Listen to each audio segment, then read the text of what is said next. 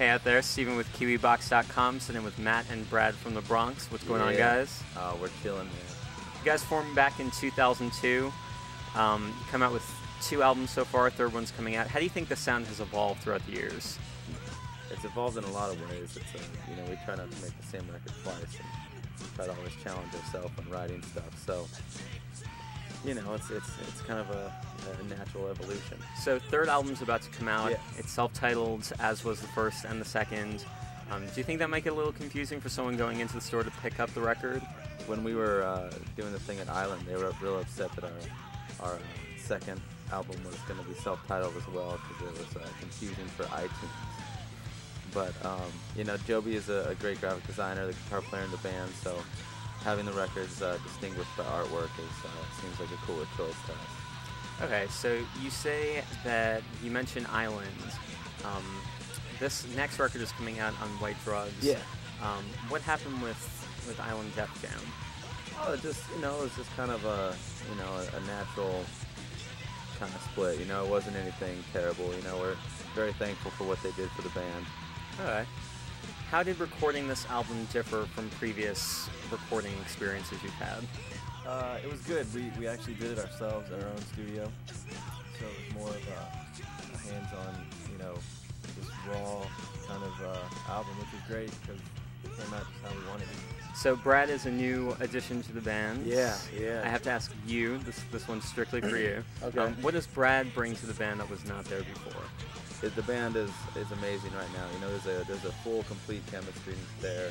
Um, you know, that was kind of missing for a while. You know, James was a, a great person and someone we started the band with, but uh, you know, it just you just have a feeling. You know, and Brad was kind of a missing link. You know, it all kind of all came together when he came when he came into the picture. You've also got El Bronx coming out. Yeah, yeah. A mariachi album. Mariachi El Bronx. Okay. What's what's the deal with the mariachi? you know what? It's it's weird. It, it what triggered it was you know on, on the last record we had a song called Dirty Leaves and we had to do a, a TV thing for it. You know, we decided that we didn't want to do uh, you know the typical acoustic bad rock band doing acoustic thing performance. So we decided to do it uh, a mariachi style. And after that, it was kind of a snowball effect. You know, we started Joby and I started loosely writing songs in that uh, in that sort of rhythm and pattern, and it just kind of turned into this amazingly uh, inspiring thing, and everything just came automatic, you know. And an- another reason why, you know, Brad was such a perfect dude for the band, you know, we had no idea, but you know, it turns out that he plays uh, trumpet. Do you guys listen to mariachi music? You know, I'm not gonna lie to you and say that I have a giant mariachi collection of, of CDs or anything like that, but it's definitely a Bronx uh, and a Bronx twist. Um, do you have to switch mindsets to go from one genre to the other, or was it just like a natural thing? It was a it was a natural thing. It, it was definitely maybe a little bit easier to go uh, from Bronx to El Bronx. Uh, you know, going from a relaxed position into an a- into an aggressive uh, mindset was a little bit more of a, uh, a challenge, I guess. You also just played Black Flag in the movie What We Do Secrets. Um, how was that experience for you guys?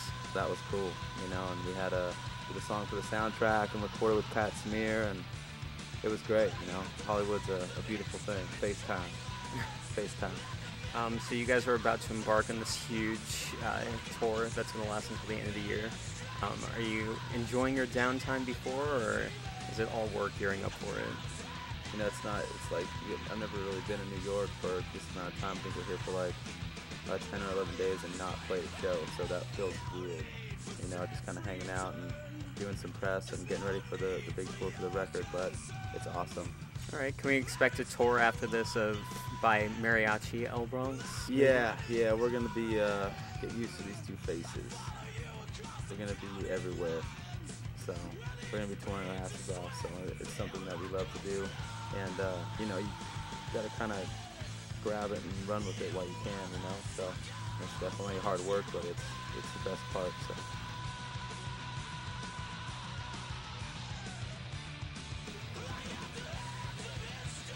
hey, I'm Matt, And I'm Brad.